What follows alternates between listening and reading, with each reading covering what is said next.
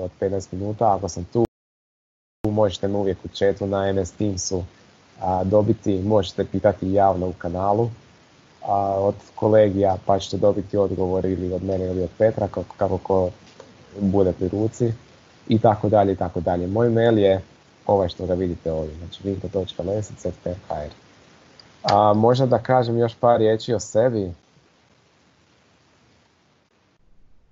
Evo ovako.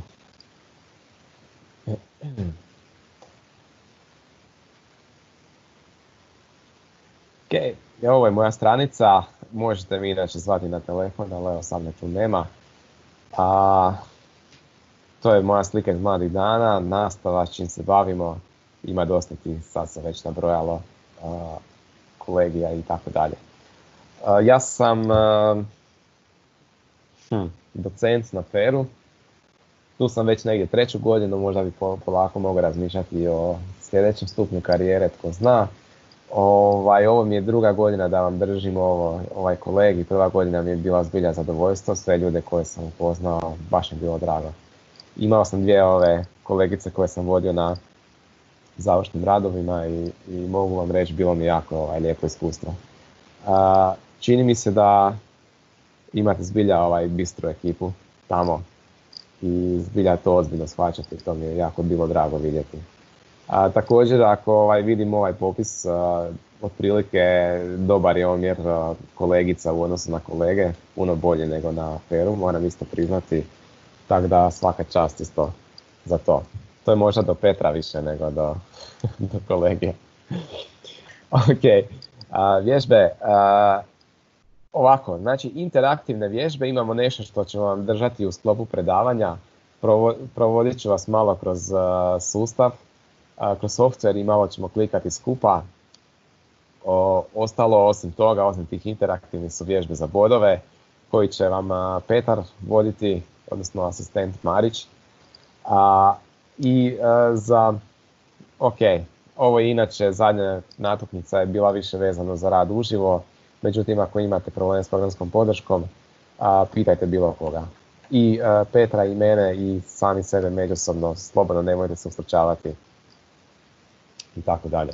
Čini mi se ovo komunikacija, odnosno vas koji upoznam tu na kolegiju je zbilja najveće zadovoljstvo u cijelom ovom procesu predavanja. Tako da nemojte misliti da smetate ili nešto slično.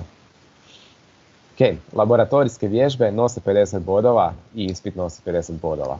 Znači pola pola. A, što, I to je za kontinuirano polaganje a, kolegija. Znači ako ste dobri na laboratorijskim vježbama, ako ste osvojili svih 50 bodova, a niste još položili ispit zato što imamo ovdje uvjet da 50% mora biti iz ispita. Odnosno morate zadovoljiti jedan i drugi komad sa pola da biste položili kolegi. Samim time 50 bodova ukupno je nužno za prolaz. Ok, to je kontinuirano. Znači, ako niste riješili kontinuirano, možete, što ja vjerujem da ćete svi riješiti, ali imate također pravo i na ispitne rokove, jer uvijek se dogode stvari a, tipa bolest ili razno razne nemogućnosti, jer nismo samo svi da imamo jedino fakultet u našim životima, pogotovo danas.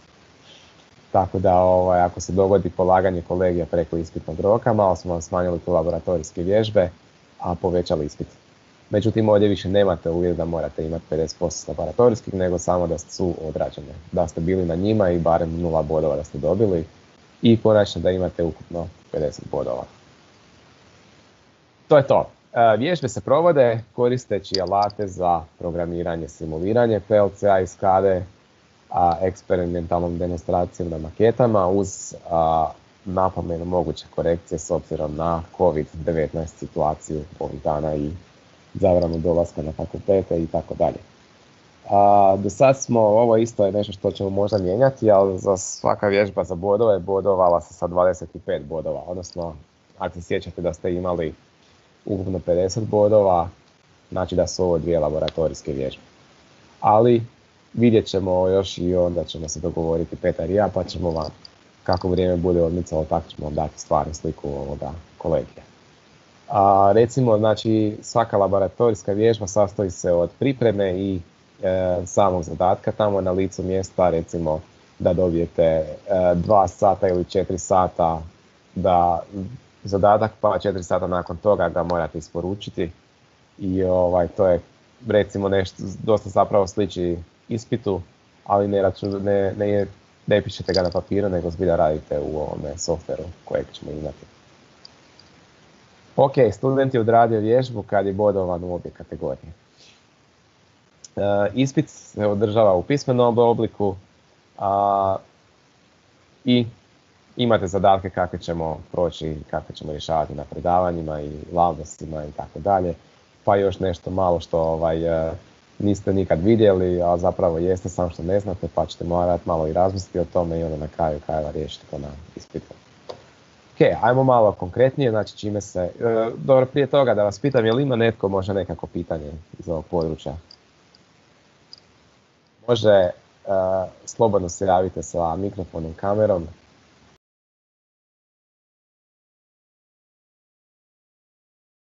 Možete ovaj, i chat također.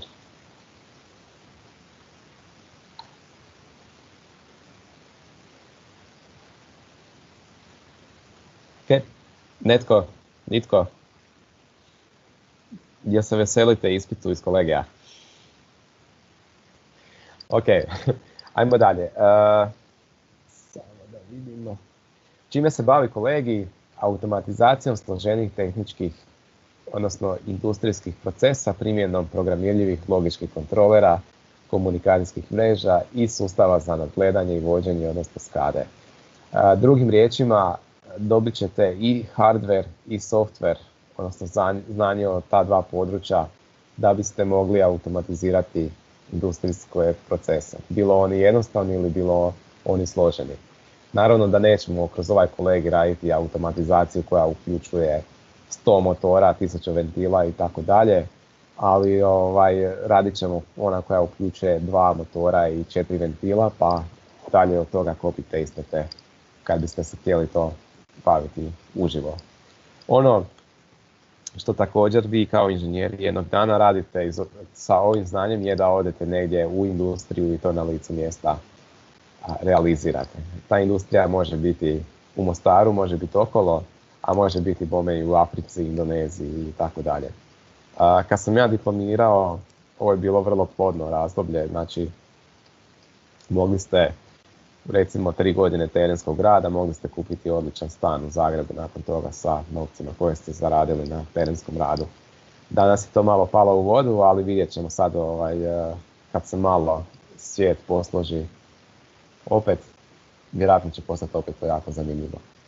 A, s druge strane, recimo, farmaceutska industrija je bila jako ovaj, u velikom usponu iz ovog područja i samo prije nek što se a, počelo pričati o ovoj pandemiji, ja vjerujem da će sad još više ovaj,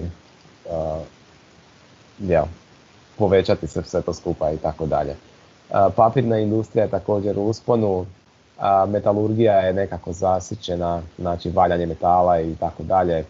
Obrada to je malo usporilo, odnosno javile su se firme koje su iz zemalja gdje je konkurentnija radna snaga, znači na primjer Indija, gdje onda a, mi ne želimo više raditi za te iste novce za koje su oni spremni. Znači to vam otprilike tako nekako izgleda. Ono što ćete uvijek imati je definitivno prehrana. Znači proizvodnja hrane, a, keksa, sladoleda može, piva također prolazi pod hranu, ali i svih drugih stvari. prošle godine smo vodili studente u distribuciju, u vodovodnu distribuciju i skadu u blizini Mostara gdje ste mogli vidjeti primjenu ovih, ovih znanja na samo upravljanje vodnim potencijalom cijelog tog područja gdje ste i vi sada. Tako da primjena je jako puno, ne morate se ograničiti na jednu, u pravilu se ljudi ipak malo specijaliziraju, ali nemojte se uslučavati promijeniti to područje u bilo kojem trenutku, jer neće uvijek farmaceutska industrija biti glavna, metalurgija je u vrijeme kad sam ja diplomirao bila još uvijek prilično dobra i tako dalje. Tako da se sve to mijenja, a i vi se trebate mijenjati sa, zajedno s tim. Uglavnom zajednički nazivnik svih tih industrija je upravo ovo znanje koje ćete dobiti. I kad kažem, ne mislim to, e, zbilja ne mislim da pretjerujemo s tim, kad prođete i praktičan rad na ovim PLC-ovima, zbilja naučite to kako treba. Dalje od toga je, kako, sam rekao, copy-pastanje, odnosno da brzo, kad skupite, skupite malo iskustva, da možete brzo vidjeti što nije u redu sa nečime. Odnosno, diagnostika je ono što vam se dalje akumulira kroz iskustvo. Dobro, pa samim time malo da se vratim formalizmu, znači upoznat ćete se s funkcioniranjem i načinom programiranja PLC-a, korištenjem komunikacijskih mreža, izrada sučelja za operatorsko vođenje i nadgledanje rada sustava, odnosno HMI, kratica od Human Machine Interface. Sučelje čovjek-stroj, kako ćemo mi to zvati u kolegiju. Taj dio vam je možda i najzabavniji, vidjet ćete, jer bilja jest vrlo vizualna stvar. Raspored po tjednima, ovo je prvi tjedan gdje sljedeća četiri dana imamo po četiri sata predavanja dnevno. Proći će svaki dan jedno ovo predavanje i četvrti dan ćemo održati nekakvu interaktivnu vježbu, o čemu ću vam ovaj... Dobro, ajde da odmah, odmah to kažem. Znači za interaktivnu vježbu koja je recimo sad je ponedjeljak, znači bit će u četvrtak, trebate već imati instaliranu vašu programsku podršku koju ćemo vam sad u pauzi Petar i ja dogovoriti kako ćemo vam dati. I ovaj, kad instalirate to, e, dosta je malo hardverski zahtjevno za procesor, tako da ako nemate e, ako imate staro računalo, probajte za tu interaktivnu vježbu, znači se s nekim e, od kolega ili tako dalje. U svakom slučaju imat ćete također snimak tog predavanja kao što ćete imati snimak ovog predavanja pa ovaj, e, možete pogledati kad dođete do nekog računala i tako dalje. Ali definitivno vam savjetujem da pratite to kontinuirano jer zbilja jest cijela nastava kontinuirana i u ova dva tjedna praktički ono, i položit ćete ovaj kolegi, tako reći. Znači skupit ćete 50 bodova iz e, Labosa ili nešto manje od 50 i nakon toga vam ostaje ispit koji vam je zapravo isto to, samo ga pišite na papiru. Tako da svakako savjetujem posvetimo se sad ova dva tjedna ovom kolegiju i riješimo to fino.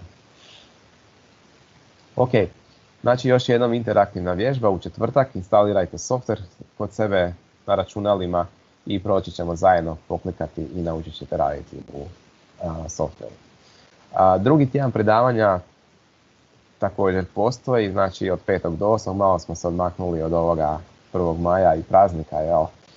Da ga možemo kvalitetno proslaviti. E, u tom drugom tjednu ćete raditi analogne veličine komunikacijske mreže iz SCAD-u. I drugu interaktivnu vježbu koja će biti vezana također za ovo tu područje koje ćemo raditi u tom drugom tjednu. A, kasnije nakon predavanja, znači treći tjedan ili kako se već dogovorimo, kako budete slobodni, e, održali bismo auditorne laboratorijske vježbe, odnosno moram se s Petrom dogovoriti kako ćemo to provesti pa ćemo vam to javiti tijekom ova dva tjedna. A, ispiti pred rokovni rokovi zajedno sa svim drugim na fakultetu kako je to već u pravilima. Evo, literatura, znači pokazam sam vam stranicu ovoga kolegija na Feru, imate i ovdje, imate nekakvu skriptu tamo, procesna automatizacija koja ne govori o PLC-ovima, nego govori općenito o automatizaciji u postrojenjima i govori o modeliranju razno raznih procesa i tako dalje, a što je nije nešto što vam možda treba u ovom trenutku u potpunosti, ali kad razumijete tehnologiju o kojom se bavite, onda možete i bolje primijeniti vaše znanje na nju. Odnosno drugim riječima, ako znate kako se pravi pivo, ako znate da ne smije stati nekakva mješalica jer ćete baciti 50 tona slada, odnosno recimo 1000 gajbi piva će završiti u smeću zbog toga što je nešto zapelo, onda ćete se potruditi ovaj, bolje da se te stvari ne dogode. To vam znači znanje o tehnologiji. E, znanje o tehnologiji vam također znači kada vam neki tehnolog dođe i kaže, znači za uh, Heineken treba biti temperatura od 80 stupnjeva vrenja da bi se uh, destilirala alkohol iz uh, ječmenog slada, na primjer. Ok, i onda vi kažete dobro što znači 80 stupnja, može li biti 81 stupanj ili ne i to je nešto što ću vam recimo A, šta je tu poznato? Evo recimo Nikšićko je dobro. Što će vam reći Nikšićko može 81, a za Heineken će vam reći ne može, može 80,2 stupnja, na primjer. Jer želimo održati da svaka boca bude ista. To su te neke stvari koje s vremenom ovaj, hvatate kako radite u tom području, a ono što sasvim sigurno ćete znati je podesiti temperaturu koju god želite. Pa bila ona 80, 80,2, 81 ili 110 i tako dalje. I tako dalje. Ok, toliko o tehnologiji. Znači, osim toga, e, literatura ova ovdje, ova skada i tako dalje i tako dalje. Ako vidite, znači, to je iz 2003. godine i prilično od se nije dogodilo nešto revolucionarno. Odnosno da budem precizniji, od 80. godina se još uvijek nije dogodilo nešto revolucionarno. A PLC-ovi su i dalje na snazi, na sličan način ih programirate.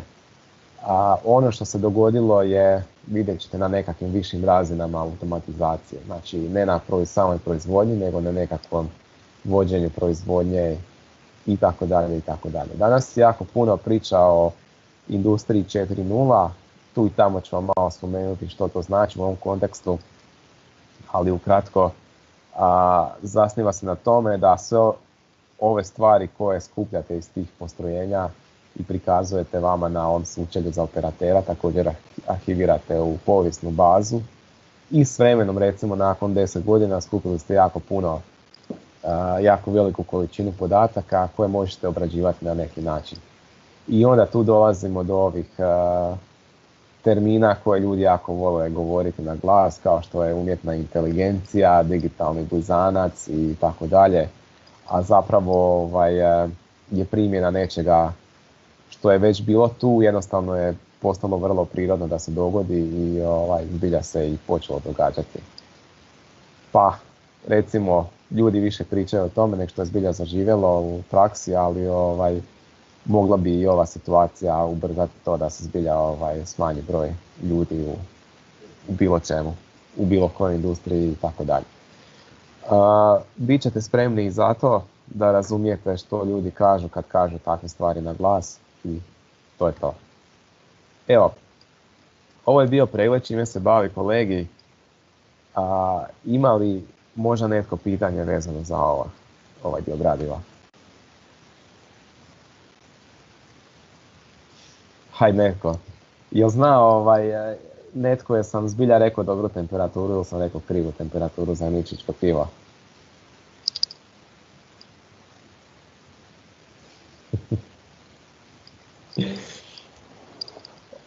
ok. da, znači još nešto kažem, ovim se bavi recimo Njemačka, Švedska na primjer, Siemens sam radi svoje puštanja u pogon, svoju automatizaciju, recimo ABB radi također sa svojim alatima, isto tako se i Kina bavi s time, Indija se bavi s time i onda se pitate dobro, a kako mi možemo konkurirati tim krajnjim a recimo zapadnoj Europi, da, Europi, dalekom istoku i tako dalje. Prvo, kao što sam rekao, znači vodovod je nešto što ćete svi trebati, općenito bilo kakvo rukovođenje infrastrukture, nešto što svi trebaju, svaka država i sad budite sigurni da a, Mostar neće tražiti od Kineza da, da vam naprave skadu. Ovaj, nema, jednostavno nema smisla izgubit se puno u komunikaciji i općenito ljudi kad nešto traže što žele, ne znaju posve uvijek zbilja što žele i tako vam je lakše naći nekog iz vaše kulture i vašeg jezika i s njim možete lakše onda i pričati o tome što vi želite, što vam treba, sugerirati, dogovarati, dobiti blagoslov države, jer ipak jesu to državni novci i tako dalje, tako dalje.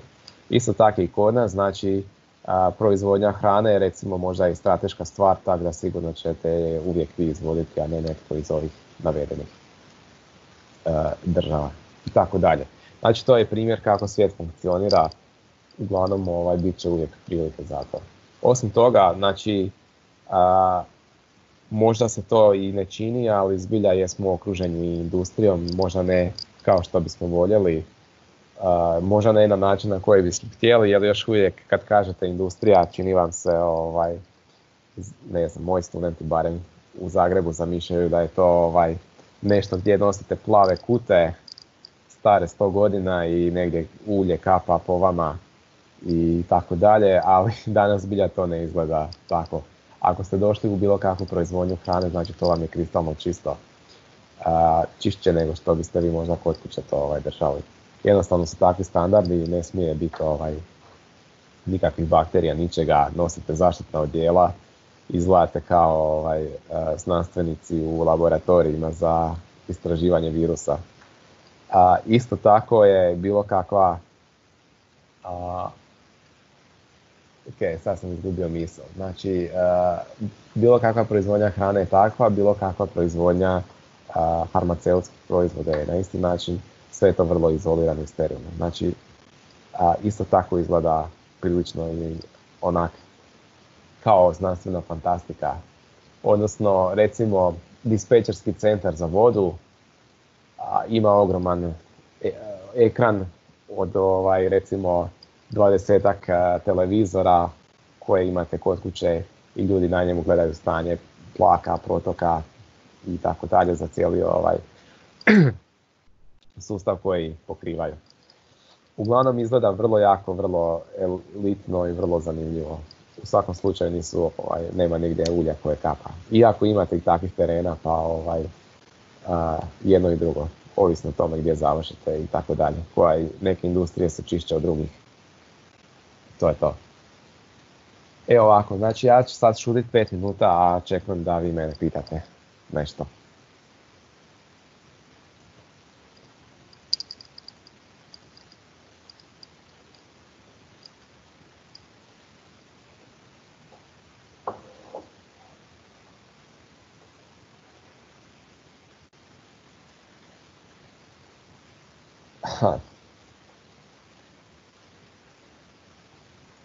Netko?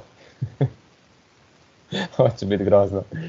Ovaj, zbilja nisam navikao na ovakvu komunikaciju, taj dio mi definitivno najviše ovaj, će faliti. Ali dobro. S vremenom vjerujem da će biti bolje, iako ovo predavanje uvodno jest, da tako kažem, najmanje ozbiljno. Pa ovaj, uh, samim time je dobra prilika za upoznavanje. Evo Petre, možeš ovaj, ugasiti snimanje, pa ćemo onda nakon, sa sljedeći sat opet upaliti. Jel, jel tako, Može, nema problema, evo ja ću zaustaviti snimanje. Jel tako funkcionirate ili odradite ovaj, dva sata u komadu i